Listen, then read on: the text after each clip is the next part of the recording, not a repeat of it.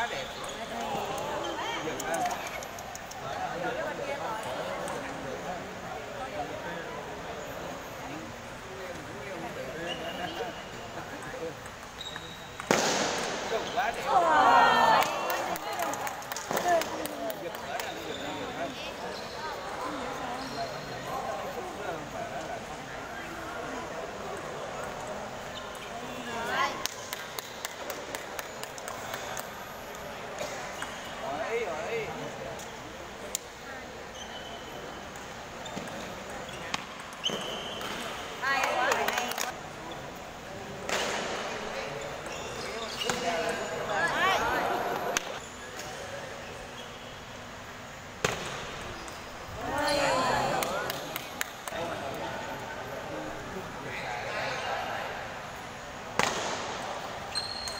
Yeah.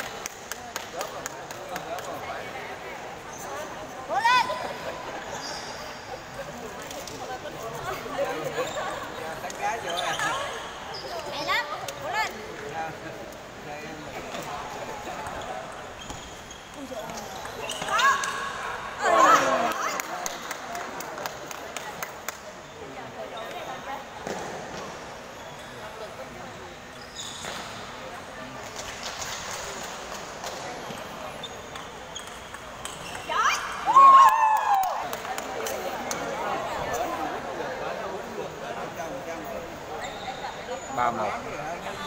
Nhìn về lại khách